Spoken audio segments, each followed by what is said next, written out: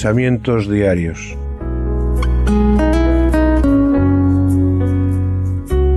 Sencillas pero profundas reflexiones para cada día de nuestras vidas.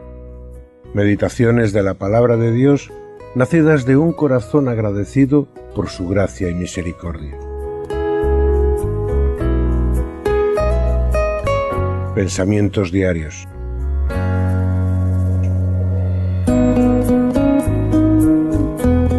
Un devocional de lectura personal obsequiado por Radio Luz a las Naciones, canal cristiano de comunicación, con el único deseo de compartir con todos vosotros la esperanza en Cristo que hay en nuestros corazones.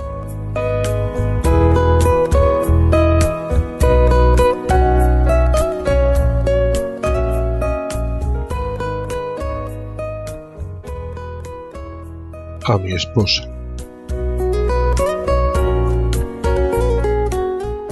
Y dijo Jehová Dios, no es bueno que el hombre esté solo, le haré ayuda idónea para él. Génesis capítulo 2, verso 18. Los sueños forman parte de la vida. Ilusiones, anhelos, sueños, en fin.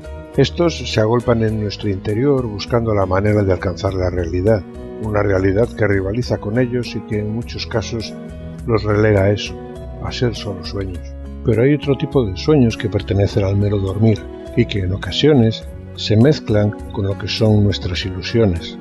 Y en esa mezcolanza de unos y otros luchamos contra nosotros mismos por poder hacerlo realidad, pero es complicado. ¿Cuántas veces hemos pasado por momentos en los que la impotencia ha golpeado nuestras vidas? Tiempos en los que nuestro ánimo flaqueó, en los que no veíamos propósito a nuestros días. Dios es sabedor de todas estas debilidades y de cómo en ocasiones la inseguridad se adueña de nuestra vida, por lo que en su gracia, sabiduría y amor por nosotros, dijo, no es bueno que el hombre esté solo, le haré ayuda idónea para él. Y así realizó para nosotros un sueño. Entonces Jehová Dios hizo caer sueño profundo sobre Adán, y mientras éste dormía, tomó una de sus costillas y cerró la carne en su lugar y de la costilla que Jehová Dios tomó del hombre, hizo una mujer y la trajo al hombre. Génesis capítulo 2 versos 21 y 22. La bondad de Dios siempre nos sobrepasa. ¿Cuánto de nuestras vidas se lo debemos a la esposa que Dios nos dio? ¿Cuántos días su apoyo nos fue necesario para vencer? ¿Cuántos días su ejemplo de amor y de determinación y de paciencia nos ha edificado? ¿Cuánto de lo que conocemos del amor y del perdón nos lo enseñó Dios a través de la esposa que Él nos dio. Su apoyo en los momentos difíciles, su ánimo dispuesto, su respaldo y también su reprensión han sido y son bendiciones de Dios. Jesús, medida del amor, nos enseña a todos en el ejemplo de sí mismo hacia su esposa, la Iglesia, y en cómo ese amor fue suficiente para subir a la cruz.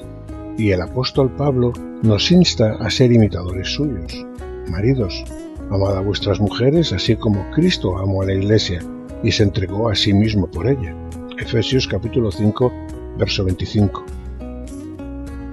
Es por todo esto agradecido a Dios por su amor, por mí, no puedo más que decirle, gracias Señor por haber hecho en mi vida un sueño realidad por haber bendecido mi vida con la mujer que me diste. Gracias. Cuán hermosos son tus amores, hermana, esposa mía. Cuánto mejores que el vino tus amores y el olor de tus ungüentos que todas las especies aromáticas. Cantares capítulo 4, verso 10.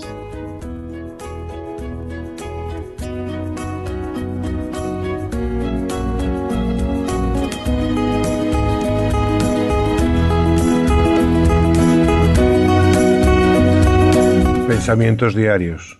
Meditando en la palabra de Dios. Santificad a Dios el Señor en vuestros corazones, y estad siempre preparados para presentar defensa con mansedumbre y reverencia ante todo el que demande razón de la esperanza que hay en vosotros.